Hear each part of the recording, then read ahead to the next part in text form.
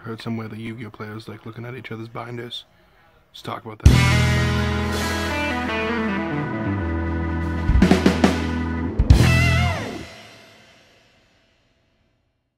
Let's go on YouTube. Hero Duelist here.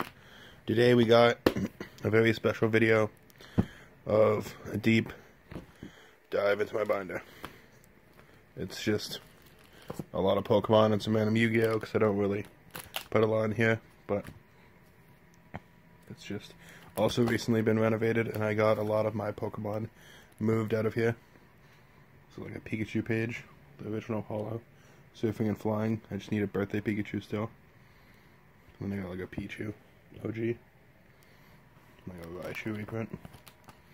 Uh, some Flygons, Eevee, a Chansey, more Flygon, more Flygon, and a Mew.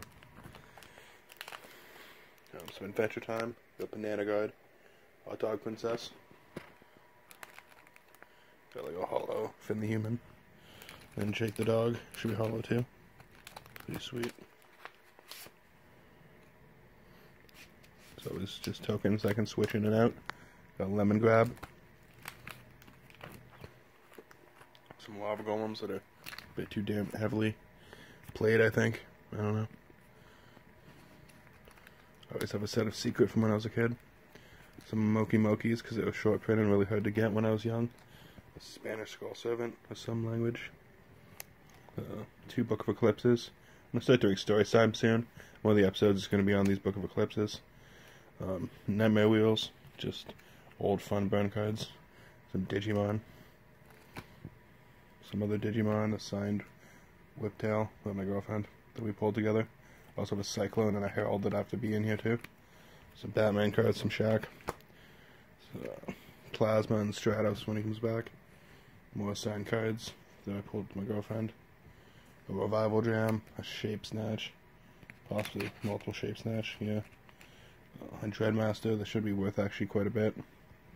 And a whole bunch of Saggi the Dark Clowns. It's like my favorite card.